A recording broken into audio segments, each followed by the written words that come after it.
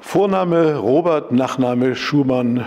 Und hier ist zweimal das Ergebnis einer, ich vermute mal, glücklichen Ehe. Das Schumann-Quartett, erste und zweite Geiger, Erik und Ken. Ihr spielt ja schon ganz viel zusammen. Du hast auch, ihr macht alle viele andere Sachen, auch viel solistisch gemacht. Was reizt dich nach doch einigen Jahren immer noch zuerst Quartett zu spielen? Also es reizt mich immer mehr, eigentlich so rum. Ähm, es ist das unglaublich tolle Repertoire, es ist das intime Musizieren, ähm, es ist das Zusammenreisen, dass man nicht alleine unterwegs ist und alles, was gut oder auch nicht gut ist, man es durch vier teilt. Und, ähm, aber in erster Linie natürlich das Repertoire ist wunderbar, das Quartett, die Quartettliteratur. Gibt es eigentlich, ihr seid ja drei Brüder und dazu die äh, Lisa an der Bratsche, gibt es irgendwas, wo du sagst, jetzt hätte ich auch gerne mal Ruhe vor meinen Brüdern? Nein, eigentlich nicht. Also wir verstehen uns sehr gut und wir haben alle ein gutes Verhältnis zueinander. Also genug haben wir noch lange nicht voneinander. Ihr probt ja nun auch natürlich extrem viel zusammen, seid also ganz viel untereinander. Da macht es aus deiner Sicht irgendetwas aus, dass ihr Brüder seid?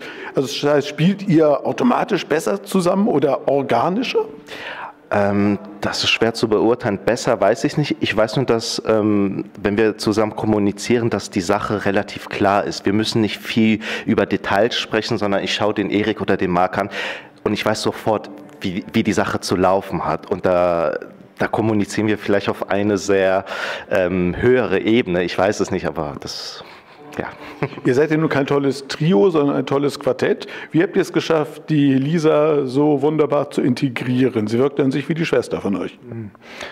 Ja gut, Lisa ist erstmal eine fabelhafte Bratschistin. Das ist erstmal Voraussetzung, dass sie das Instrument einfach wahnsinnig gut beherrscht und auch ein sehr empathischer Mensch, der sich reinfühlen kann in, in die Leute, in die Kollegen und von eigentlich der ersten Minute an einen organischen Zugang hatte, weil sie auch jeden von uns so akzeptiert, wie er ist. Und ähm, ist einfach eine tolle Kollegin. Ich glaube, sie wird auch in, in anderen Ensembles sich sehr gut einfinden. Das ist sagen wir, eine Qualität von ihr. Und es, ich kann mir vorstellen, es ist sicher nicht einfach mit drei Brüdern für, für mich, ich, ich, also ich wüsste nicht, wie ich das machen würde, wenn ich in ein Ensemble kommen würde, wenn da wo drei Geschwister sind, wo man denkt, mein Gott, die sind ja sowieso immer verbandelt miteinander. Äh, aber das, also sie hat das von Anfang an fabelhaft gemacht und mit einer Selbstverständlichkeit. Ihr spielt in Hamburg heute ein, wie ich finde, unglaublich apartes Programm. Ein spätes Mozart-Quartett, dann das dritte von Tchaikovsky, kennen nicht so viele Leute, dann das fast unbekannte Klavierquintett von César Franck. Wer sucht bei euch die Programme aus? Dafür bin ich zuständig. Ah, dann habe ich das Lob ja an die Richtigen gegeben. Und wie seid ihr auf diese Stücke gekommen, also diese Kombination aus den dreien? Naja, das ist immer so eine Findung mit dem Programm. Also Tchaikovsky war, ist einer unserer Lieblingskomponisten und ähm, am öftesten wird ja das erste Quartett in D-Dur gespielt und habe ich mich mal reingehört, was ist eigentlich mit den beiden anderen und das dritte habe ich mir mal angehört und war sofort von, von seiner Klangwelt, von, von, von Tchaikovsky so gefesselt, dass ich gesagt habe, Leute, das müssen wir ins Programm nehmen. Und Mozart, Haydn, Beethoven bleiben für uns immer die Juwelen, die Klassiker, die uns wirklich wichtig sind und äh, damit arbeiten wir jeden Tag. Und César Franck ähm, kam auch über Menahem Pressler. Er wollte das mit uns unbedingt spielen. Und hat mit euch heute seine Premiere. Er spielt es zum ersten Mal. Mit jetzt, na, er ist ja auch erst 94. Er ist erst 94 und spielt das Stück heute, das ist seine Premiere. Also das ist, finde ich, auch unglaublich, dass er immer noch diese Neugier und diese Energie hat, äh, weil das ist ja auch ein wahnsinnig schweres Quintett. Aber er hat sich nicht und lang und, und lang, aber er hat sich nicht gescheut, sondern geht mit jeder, mit so viel Energie an die Sache und mit so einer Leidenschaft. Also das ist wirklich sehr inspirierend für uns.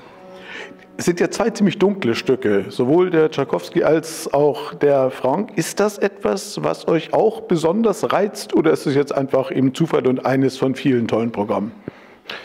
Ähm, also ich würde nicht sagen, dass wir besonders solche Stücke auswählen, aber mm, wenn wir auf eine Tour gehen oder es ist komischerweise mit, also für mich persönlich, ich kann nur für mich reden, aber ähm, jeden Abend mich dafür auf einer Tour wieder zu begeistern, ist vielleicht ein bisschen einfacher fast mit solcher Musik. Ähm, jeden Abend, sagen wir mal, einen Haydn auszupacken und den mit der gleichen Inspiration Frische zu spielen, ist fast schwerer als ein Tchaikovsky. Damit sage ich nicht, dass Tchaikovsky einfacher ist. Es ist genauso schwer, nur in eine, aber es ist mir vielleicht näher an meiner Natur und beim Haydn, da muss ich wirklich auch in, in, dem richtigen, in der richtigen Laune sein an dem Tag, obwohl ich es natürlich trotzdem, egal wie ich drauf bin, so inspiriert wie möglich wieder spielen, klar. Ihr spielt mit Menachem Pressler heute zusammen, du hast es schon gesagt, den César Franck. Gibt es irgendwas, von dem du sagen würdest, das ist das, was ich an Menachem Pressler, diesem großartigsten aller Trio-Pianisten zumindest, ganz besonders schätze? Natürlich findest du wahrscheinlich ganz, ganz vieles toll. Mhm. Das lässt sich wirklich schwer in Worte fassen. Es ist einfach der ganze Mensch, die Persönlichkeit. Vor allen Dingen, wie du eben gesagt hast, im zweiten langsamen Satz von César Franck, da, da kommen Klänge, die sind nicht von dieser Welt und das, das hat so eine Zeitlosigkeit, so eine zeitlose Schönheit, aber auch so eine wirklich tiefe Wahrheit, eine so wahrhaftige Stärke.